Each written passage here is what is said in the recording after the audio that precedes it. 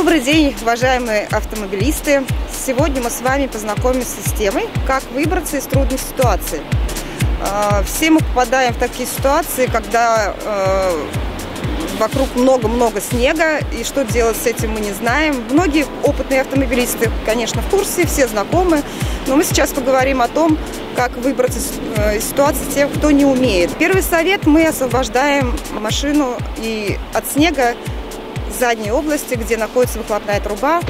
Выхлопная труба, если она не освобождается, находится в снегу, мы, э, газы, которые проникают в машину, они вредны, и для нас это пользы никакой не приносит. То есть освобождаем в первую очередь выхлопную трубу. Дальше мы берем лопатку, и лопатой немножко освобождаем колеса и машину вокруг, вокруг машины все пространство. Освободили колеса, пробуем выезжать, двигаемся вперед, двигаемся назад. Если вы на механической коробке передач, то это можно раскачку сделать при помощи сцепления и газа вперед-назад. А если мы на автоматической коробке передач, мы включаем заднюю передачу и э, драйв. Дальше, если у нас не получается, что делаем? Можно э, несколько способов э, применить. Первый способ – достаем резиновый коврик из-под машины, подкладываем его и потихонечку пробуем. Самое главное – не делать резких движений, плавно нажимать на педаль газа, и я думаю, что этот способ может вам помочь выехать.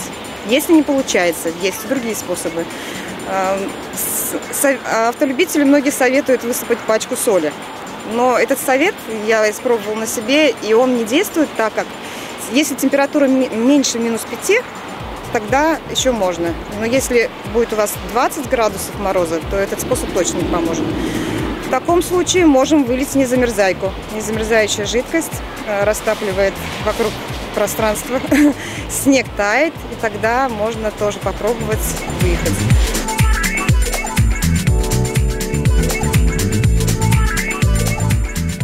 Конечно, в городских условиях у нас не может быть бревен, как говорят, э, палки нарубите, дрова наложите, песок насыпьте.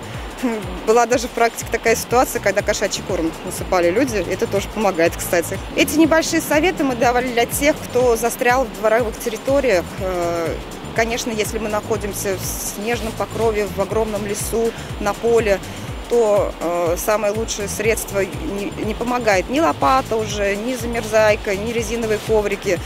И в дворовых территориях то же самое, нужно обращаться к помощи других водителей. И делаем буксировку. Соответственно, у вас в машине должен быть трос обязательно.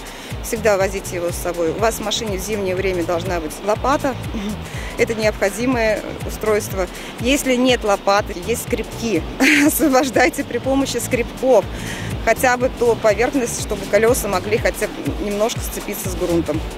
Завершение, дорогие водители, желаю вам хороших, отличных дорог, без всех этих ситуаций, чтобы они нам в жизни не встречались. Но надеюсь, что все эти советы помогут вам хотя бы для вашего знания, для того, чтобы вы не практиковали их часто, и чтобы всегда у вас был зеленый свет.